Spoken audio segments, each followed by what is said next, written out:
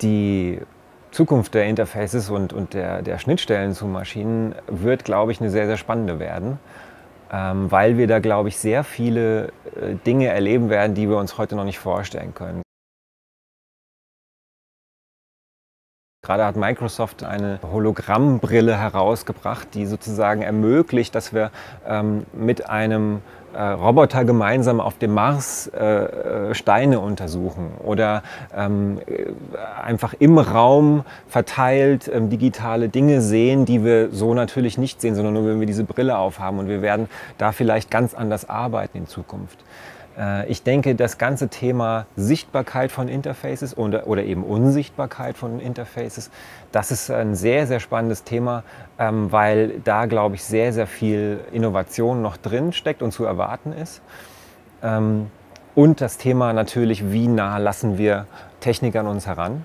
Oder wann sagen wir bis hierhin und nicht weiter und ähm, das Augenimplantat möchte ich dann am Ende vielleicht doch nicht haben? Wir müssen auf jeden Fall zukünftig darüber nachdenken und mehr darüber nachdenken, wie wir Interfaces und Schnittstellen zu Maschinen und Computern gestalten, weil wir immer mehr damit konfrontiert werden. Und ähm, es ist ja so, dass äh, es wird oft vergessen, aber es ist tatsächlich so, dass in der Regel die Maschine oder der Computer ja da zur Unterstützung des Menschen da sein soll, nicht umgekehrt. Und dass man das aber eben oft umgekehrt oder anders empfindet, ist leider Gottes auch immer ähm, oder sehr oft äh, dem geschuldet, dass das Interface schlecht gemacht oder schlecht gestaltet ist. Tatsächlich ist es so, dass, dass diese Schnittstellen bestenfalls immer menschlicher werden und immer angenehmer, immer schöner zu bedienen werden, äh, weil das dem entspricht, wie wir auch mit anderen Menschen, mit unseresgleichen kommunizieren. Und wenn wir das schaffen, wenn wir die Oberfläche so gestalten können, dass sie äh, dass sie dem entspricht und dem sehr nahe kommt, äh, wie wir mit, äh, mit anderen Menschen kommunizieren, dann haben wir sehr, sehr viel erreicht, denn dann kommunizieren wir mit der Maschine sehr intuitiv. Denn die Kommunikation mit anderen Menschen lernen wir ja von klein auf und können das quasi aus dem FF. Das müssen wir nicht groß lernen. Und wenn wir es schaffen, ein Interface so zu gestalten, dass, ähm, dass wir es intuitiv bedienen können, dass wir es intuitiv verstehen und intuitiv darauf antworten können, ähm, dann ist das eigentlich die Königsdisziplin. Technik wird sehr oft als kalt empfunden und als, ähm, ja, als Fremdkörper dem Menschen, also nicht human. Und ähm, ich denke, da wird sich auch zukünftig sehr viel tun, ähm, wenn wir mal an den ganzen Bereich der sogenannten Wearables denken, also Dinge, die wir anziehen oder uns anlegen. Ähm, das wird zukünftig auch ein großes Feld sein, in dem wir äh, Innovationen sehen werden ähm, bedeutet, dass wir einfach versuchen müssen, dieses kalte, also wenn wir, selbst wenn wir ein, ein, sehr, sehr schönes Smartphone in der Hand halten, ist es immer noch eine kalte, glatte Oberfläche und sehr inhuman.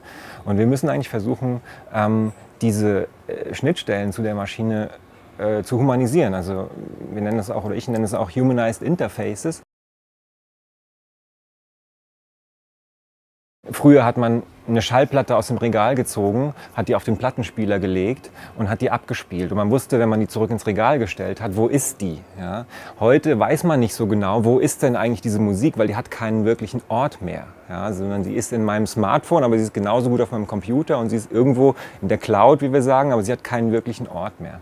Und äh, Menschen können aber sehr gut mit Verortung umgehen. Menschen können sehr gut sagen, ähm, das ist da und das ist da. Und ähm, es gibt ein sehr schönes Konzept, das mit kleinen ähm, achteckigen Holzelementen ähm, umgeht, die auch sehr schön aussehen, die sich sehr angenehm anfassen. Und da kann man dann sagen, da ist jetzt Musik drauf oder da, ist, äh, da sind Bilder drauf oder da sind Videos drauf. Und ähm, es gibt dann ein Abspielgerät. Ich nehme einfach dieses Holzstück und lege es auf dieses Abspielgerät und das Abspielgerät erkennt selbst, was ist auf diesem Holzstück drauf. Ist es Musik oder ist es, äh, ist, sind, äh, sind es Bilder? Und äh, schaltet das entsprechende Gerät ein, wie zum Beispiel den Fernseher oder die Musikanlage und spielt das ab. Und ähm, das sind so, so kleine Gegenbewegungen, wo man merkt, okay, da, da wird versucht, ähm, auf, diesen, äh, so auf diese Unbehaglichkeit, die oft auch da ist, mit technischen Geräten umzugehen, äh, eine Antwort zu finden.